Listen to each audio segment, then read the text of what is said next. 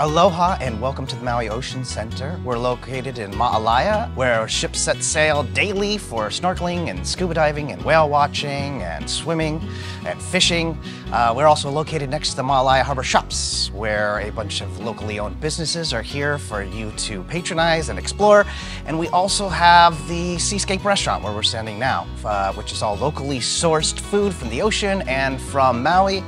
And uh, we welcome you and we look forward to seeing you.